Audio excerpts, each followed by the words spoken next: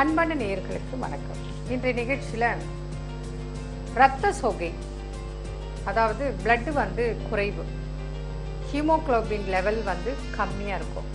Anaemic anaemia இரத்த சோகை இதை பற்றி தான் பார்க்க போகிறோம் இப்போது நம்ம நாட்டை பொறுத்த வரைக்கும் அநேகம் பேருக்கு பிளட் வந்து குறைந்து தான் காணப்படுது. அது ஆண் பெண் குழந்தைகள் வயதானவங்க நோயாளிகள் சொல்லவே வேண்டாம்.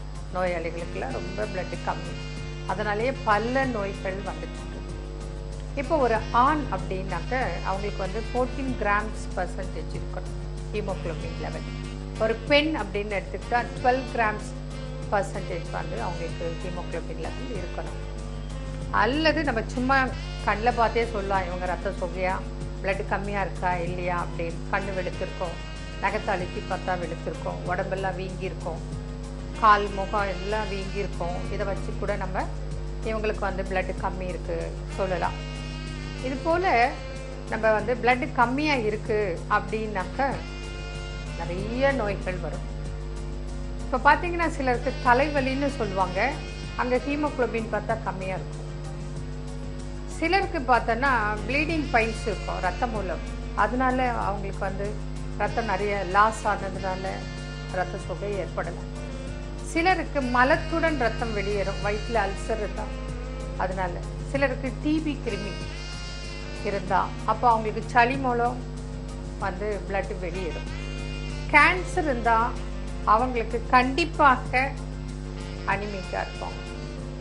அது அனைத்து வகை புற்றுநோயாளிகளுக்கும் பிளட் வந்து கம்மியாயிடும். சென்ட்ரலாகவே நமக்கு வந்து வயிற்றுல பூச்சி இருந்தால் பிளட்டு கம்மியாக இருக்கும். குழந்தைகளா இருக்கட்டும் பெரியவங்களா இருக்கட்டும் எப்படினாலும் செக் பண்ணி பார்த்தோன்னா கண்டிப்பாக ரத்தம் இருக்க வேண்டிய அளவில் இருந்து ஒரு கிராம் குறைஞ்சிருந்தா கூட உங்களுக்கு வந்து பார்த்தீங்கன்னா அடிக்கடி சில நோய்கள் அதாவது தொட்டாச்சினிங்கி செடி தெரியுமா உங்களுக்கு? நல்லா அழகாக பூத்து இலை விரிஞ்சு இருக்கும். ஜஸ்ட் ஒரு டச் பண்ணால் போதும்.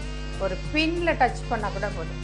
அப்படியே இலை சுருங்கிடும். அது போல் பிளட்டு உடம்புல நல்லா இருந்தால் அழகாக அந்த தொட்டாச்சினிங்கி செடி விரிஞ்சு அழகாக இருக்கு பாருங்க. அது போல் இருக்கும். ஆனால் ஒரு கிராம் பிளட் கம்மியாக இருந்தால் கூட அதை தொட்டாச்சு நீங்கள் எப்படி சுருங்கி பதுங்கி வாடி இருக்கோ அது போல் நம்ம உடம்பு வந்துடும். இப்போ உதாரணத்துக்கு ஒரு பேஷண்ட்டோட எக்ஸ்பீரியன்ஸ் நான் சார் உங்ககிட்ட பகிர்ந்துக்கிறேன் எங்கள் குழந்தைகளை வந்து இருபது ஆண்டுகளுக்கு முன்பு சென்னையில் ஒரு பிரபலமான ஸ்கூலில் ஜாயின் பண்ண வச்சேன் அங்கே போகும்போது பார்த்தீங்கன்னா ஒன் இயர் அவங்களுக்கு படிக்கணும். எவ்ரி இயர் அப்படித்தானே? அப்படி பார்க்கும்போது அந்த பிரின்ஸ்பாலை மீட் பண்ணி எங்களோட புக்கை நான் அவங்களுக்கு காம்ப்ளிமெண்ட்டாக கொடுக்கலான்னு பார்த்துட்டு இருக்கேன். ஒரு மாதமாக அந்த பிரின்ஸிபால் எனக்கு கிடைக்கவே இல்லை. நான் ஒரு மாதம் வெயிட் பண்ணி பார்த்துட்டு என்ன பண்ணேன்? அங்கே ஆஃபீஸில் போயிட்டு என்னங்க சாருக்கு ஏதாவது உடம்பு சரியில்லையா? பிரின்ஸ்பால் சாருக்கு கேட்டேன். அவங்க சொன்னாங்க சாருக்கு இல்லைங்க.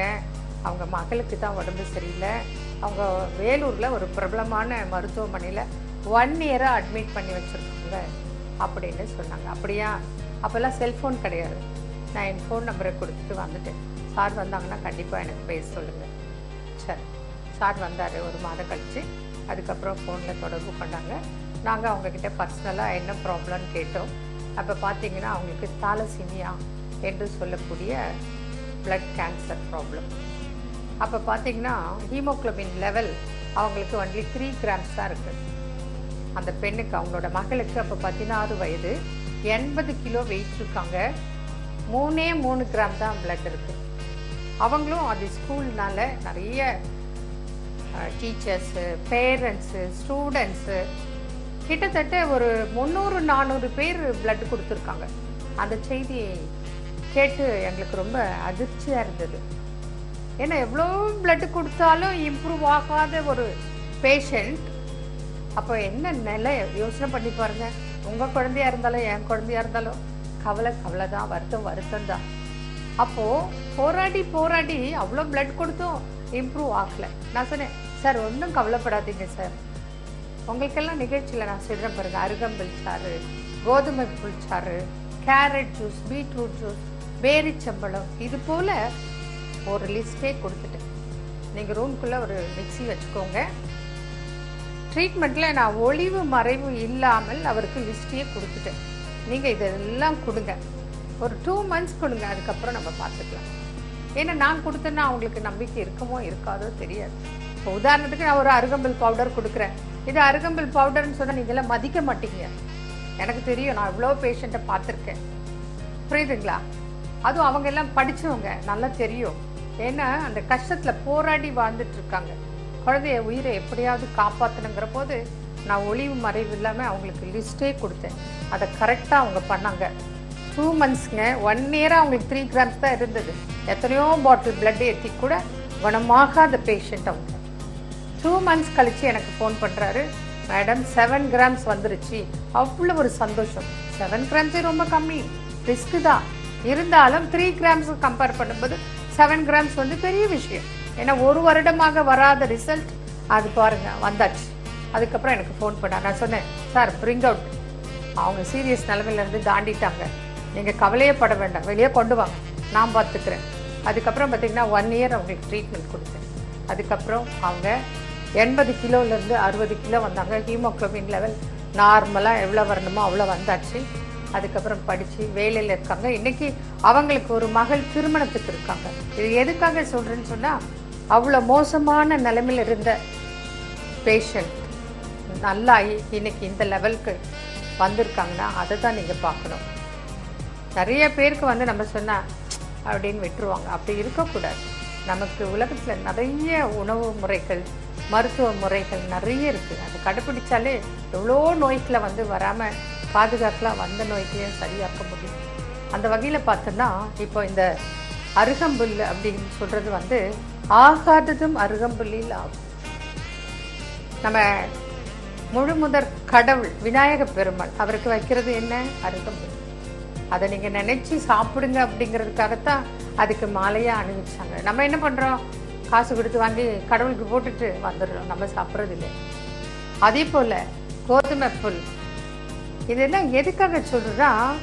இதெல்லாம் புல்லுன்னு சொல்றதை விட இதெல்லாம் கிரீன் பிளட்டுன்னு சொல்றோம் நாங்க இயற்கை மருத்துவத்துல வந்து கிரீன் பிளட் எது? அருகம்புல் சாறு கோதுமை புல் சாறு எல்லாம். ஏன்னா நம்மளோட பிளட் வந்து ரெட் கலர்ல இருக்கு. ஆனா இதெல்லாம் கிரீன் கலர்ல உள்ள ஒரு பொருள் ஆனா ஈக்குவல் டு பிளட் அப்போ உங்க ரத்தத்தை உற்பத்தி செய்யக்கூடிய திறன் இந்த உணவுப் பொருள்ல இருக்கு. அதனால தான் இதெல்லாம் சாப்பிடுங்கன்னு டெய்லி நம்ம உங்களுக்காக டிவியில் பாருங்க இல்லை அருமையான ஒரு நிகழ்ச்சி. உங்களுக்காக எவ்வளோ டைம் ஒதுக்கி கொடுக்குறாங்க அதனால பார்த்து இதை கடைபிடித்து பயன்படுத்து ஃபாலோ பண்ணுங்க. அப்பதான் ரிசல்ட் கிடைக்கும். அந்த வகையில் இதில் வந்து பார்த்தீங்கன்னா குளோரோஃபில் என்று சொல்லக்கூடிய பச்சையம் இருக்கு. ரத்த சோகைக்கு இது ரொம்ப ரொம்ப ரொம்ப ரொம்ப முக்கியமான ஒரு பொருள். அதை தான் இதை கிரீன் பிளட்டுன்னு சொல்கிறோம் செவன்ட்டி பர்சன்ட் குளோரோஃபில் இதில் இருக்குது அது இல்லாமல் பார்த்தீங்கன்னா மல்டி வந்து விட்டமின்ஸ் இருக்கு மல்டி மினரல்ஸ் இருக்கு. அப்போ தாது உப்புக்களும் வைட்டமின் சத்துக்களும் அந்த பச்சையம் என்று சொல்லக்கூடிய குளோரோஃபில்லும் மிகுதியாக இருக்கு. ஒரு பிளட் ஏற்றினா கூட இம்ப்ரூவ் ஆகாத ஒரு நிலையில இந்த உணவுகளை சாப்பிட்டா இந்த ஹீமோக்ளோபின் லெவல் உங்களுக்கு தேவையான அளவு அருமையாக கொண்டு வர முடியும். இதெல்லாம் எக்ஸ்பீரியன்ஸில் பார்த்து தான் உங்களுக்கு நாங்கள் சொல்கிறோம் அதனால் ரத்த சொகை பற்றி கவலைப்படாதீங்க. நல்லா பண்ணிக்கலாம். நன்றி. வணக்கம்.